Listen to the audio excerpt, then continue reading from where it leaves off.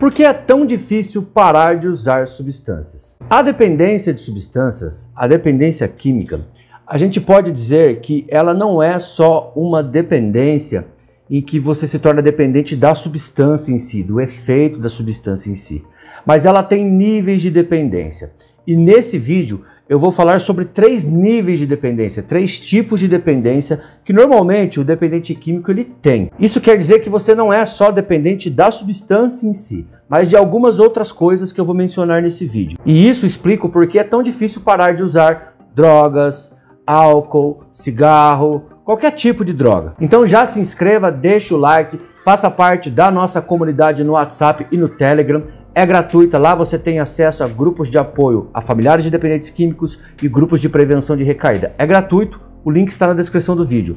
E se você quer contribuir de alguma forma com o nosso trabalho, seja assinante da Academia SOS, a nossa área de membros. Lá você terá acesso a conteúdos exclusivos e muitos cursos de capacitação e materiais de apoio. O link está na descrição do vídeo. Bom, os três tipos de dependência são de uma certa forma três formas de apego ao comportamento de usar substâncias. Sim, a dependência é uma forma de apego, difícil de desapegar. E esse apego ao comportamento de usar torna as coisas muito mais difíceis, difícil de resistir à tentação de usar, difícil de se afastar desse comportamento, se afastar do ambiente de uso, se afastar das pessoas de uso, porque todo esse contexto é uma forma de apego. Apego ao ambiente, apego à cultura do uso, apego às amizades do uso, apego a tudo que está associado ao uso. E essas coisas tornam ainda mais difícil o processo de mudança que precisa acontecer na recuperação. Então vamos lá. O primeiro tipo de dependência é a dependência farmacológica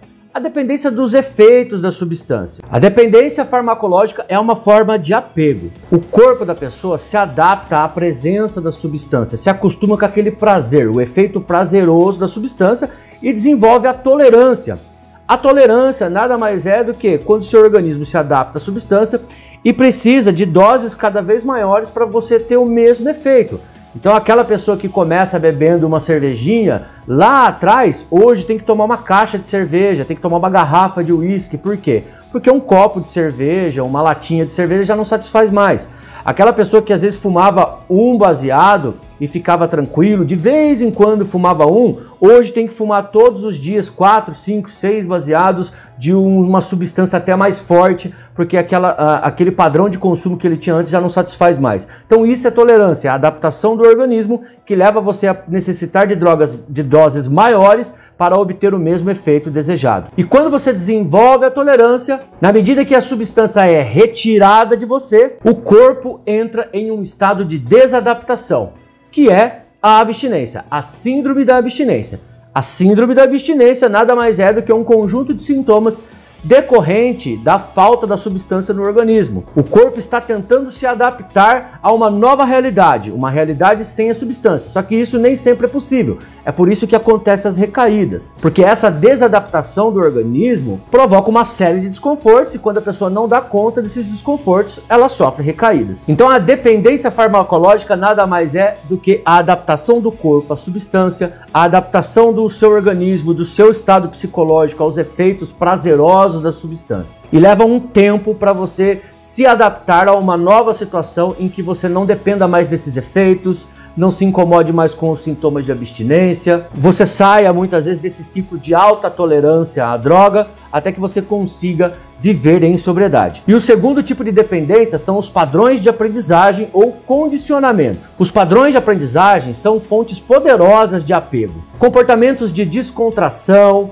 sociabilidade, recreação, aquele convívio no happy hour, o famoso sextor no fim de semana, as baladinhas, o ambiente, determinadas músicas. Estas coisas estão fortemente associadas ao comportamento de consumo e são muito difíceis de se livrar, são muito difíceis de desaprender, porque você passou por um processo de aprendizagem, de condicionamento. Então, ao longo dos anos, o seu cérebro foi associando estas práticas ao consumo então, toda vez que você se expõe a esse tipo de coisa, a vontade de usar é acionada. Então, de um modo geral, O que eu quero dizer aqui é que esse segundo tipo de dependência está relacionado a tudo que está associado ao consumo. Dependência dos pares de consumo, dependência dos comportamentos de consumo, dependente dos ambientes de consumo, dependência da cultura do uso da sua substância de preferência. E o terceiro tipo de dependência é a dependência psicológica. E esse tipo de dependência, eu diria que é uma das mais difíceis de tratar porque demora mais tempo. A dependência farmacológica, em alguns meses aí que você fica em abstinência, ela já reduz, já diminui de intensidade e você consegue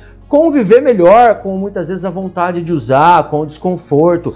Você se adapta a uma nova rotina e não é tão sofrido mais viver sem a sua substância, sem o prazer da substância. O problema é a dependência psicológica. Essa pode demorar algum tempo, talvez até alguns anos. É por isso que você precisa trabalhar isso muitas vezes em terapia, em grupos, modificar a sua maneira de pensar, porque a sua maneira de pensar é dependente. Então a dependência psicológica, de uma certa forma geral, é quando o comportamento de usar está relacionado com algumas situações de enfrentamento. Ou seja, a pessoa conta com a substância para ajudar ela a lidar com estados difíceis, situações desagradáveis que envolvam emoções desconfortáveis. Então, uma pessoa tímida, por exemplo, que tem que falar com pessoas, pode recorrer à bebida para se sentir mais à vontade. A pessoa recorrer à substância para relaxar em uma situação de muita raiva, uma situação de intensa frustração, preocupação, estresse, a pessoa recorrer a uma substância para se desligar ou para relaxar desse estresse, a pessoa usar algum tipo de substância para sentir coragem quando está com medo. Então veja que a dependência psicológica está muito ligada ao enfrentamento das emoções que eu muitas vezes não aprendi a lidar ou desaprendi a lidar por causa do uso de substâncias ao longo dos anos. Então, por exemplo, se eu uso substância por muitos anos, fica cada vez mais difícil eu enfrentar emoções ou lidar com situações difíceis sem recorrer ao uso de substância. E daí, como a gente costuma dizer no dia a dia, para tudo tem um motivo para usar substância. Tudo vira um motivo. Eu estou alegre, eu uso substância. Eu estou preocupado, eu uso substância. Eu estou estressado, eu uso substância. Eu estou irritado, eu uso substância. Eu estou ansioso, eu uso substância. Eu estou deprimido, eu uso substância. Então, a droga ela vira uma forma de enfrentar esses estados difíceis e desconfortáveis. Essa é a dependência mais difícil de tratar, mas que também, se você tratar, você será livre da substância, porque daí você vai aprender a lidar com esses estados e com essas situações de cara limpa, sóbrio, abstinente. Gostou do vídeo? Espero ter ajudado. Tem mais algum tipo de dependência que eu não mencionei nesse vídeo? Coloque aqui nos comentários porque vai ajudar outras pessoas. Até o próximo vídeo.